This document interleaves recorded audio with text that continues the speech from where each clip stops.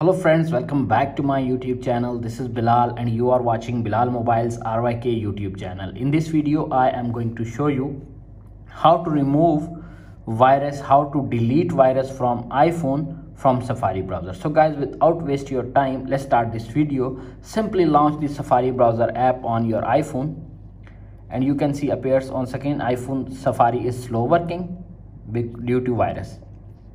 Simply tap on the settings app little bit scroll up to find Safari.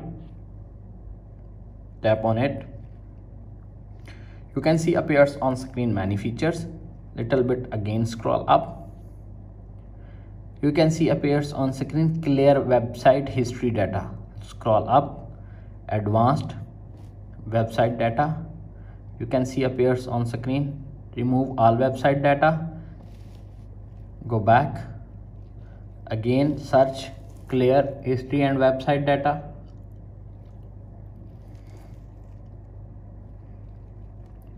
Close all tabs.